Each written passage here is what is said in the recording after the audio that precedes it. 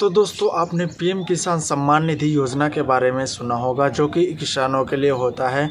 सालाना छः हज़ार रुपये किसानों को दिया जाता है। तो दोस्तों, कुछ लोग इसका मिसयूज़ कर रहे हैं, यानी कि दूसरे का आधार कार्ड यूज़ करके पैसे ले रहे हैं। जो किसान सम्मान निधि योजना का लाभ नहीं ले रहे हैं, लेकिन उसका भी वो लोग आधार कार्ड लगा के पैसे निकाल रहे हैं, पैसे ले रहे हैं। तो आज की इस वीडियो में आपको बताऊँगा कैसे आप बहुत ही आसानी से आप चेक कर सकते हैं कि आपके आधार से कोई फ्रॉड तो नहीं हो रहा आपके आधार से कोई पैसे ले तो नहीं रहा है। आप पीएम किसान सम्मान निधि का ला, लाभकारी नहीं है आपने लाभ नहीं लिया है तब भी आपका जो आधार कार्ड है कोई सीएससी सेंटर वाला कुछ कोई लोग आपका यूज़ कर रहा है किसान, अब पीएम किसान सम्मान निधि में पैसे ले रहा है तो आप बहुत ही आसानी से चेक कर सकते हैं और साथ में उस पर्सन के ख़िलाफ़ आप कंप्लेन भी ऑनलाइन दर्ज कर सकते हैं। तो चलिए वीडियो को शुरू करते हैं, हम आपको बताते हैं दोनों प्रोसेस। अगर आपने हमारे चैनल को अभी तक सब्सक्राइब नहीं किया तो सब्सक्राइब कर लीजिए बेलाइकन को ऑल पर सिलेक्ट कर लीजिए, ताकि नए वीडियो नोटिफिकेशन आपको मिलती रहे।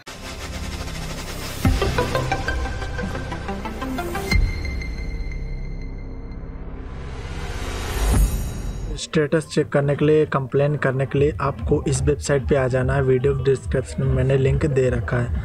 आप नीचे आएँगे, यहाँ पे देखेंगे, नीचे आके यहाँ पे हेल्प डेस्क पर क्लिक कर देंगे। हेल्प डेस्क पे क्लिक कर देते हैं। इस तरीके से इंटरफेस आएगा। अब यहाँ पे आधार नंबर डाल देते हैं। उसके बाद दोस्तों गेट डिटेल्स पे हम क्लिक कर देंगे।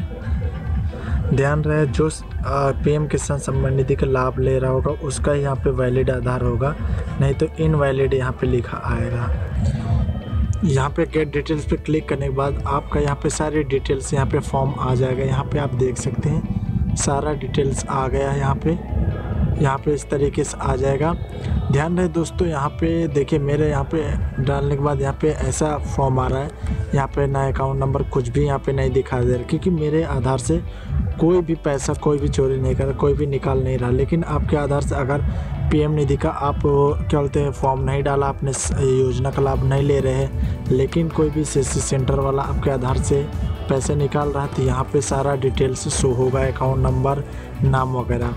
तो जैसा कि यहाँ पे शो होने के बाद, शो होगा, उसके बाद यहाँ पे आपको कंप्लेन करने के लिए यहाँ पे आपको इस पर क्लिक करना है। क्लिक करने के बाद यहाँ पे आप देखेंगे, account number is not correct. यहाँ पे आपको इस पर क्लिक करना है, यानी हमारा अकाउंट नंबर नहीं है। इस पर आपको क्लिक करने के बाद यहाँ पे आपको सारा कुछ एक्सप्लेन कर देना है। ठीक है ना? एक्सप्लेन करने के ज़रिए इस एक्सप्लेन हो जाएगा। उसके बाद आपको इस कैप्चा को डालना है यहाँ पे। यहाँ पे देखिए, यहाँ पे आपको काउंट करके इस कैप्चा को डालने के बाद सबमिट पे क्लिक कर देंगे। सबमिट पे क्लिक करने के बाद दोस्तों, आपके पास के पास सारी डिटेल्स कुछ इस तरीके से आ जाएगी। यहाँ पे आप देख सकते हैं। ठीक है? इसके बाद आपका जो यहाँ पे ऑफिसर होंगे, उसको ये जाएगा, वो देखेगा और आपका स्टेटस अपडेट कर देगा। तो स्टेटस अपडेट होने के बाद तो यहाँ पे आप अपना स्टेटस देखने के लिए यहाँ पे आप नो द क्वेरी स्टेटस पे क्लिक करके यहाँ पे आप enter valid query ID number तो यहाँ पे आपको आईडी नंबर डालना है, जो भी होगा, उस कंप्लेन करने के बाद आपको आई आईडी नंबर होगा, उसके यहाँ पे फिलअप करके आप देख पाएँगे दोस्तों। तो मैं यहाँ पे मेरे साथ ऐसा कुछ भी नहीं होता यहाँ पे, इसलिए मेरा कुछ भी यहाँ पे नहीं दिखाएगा।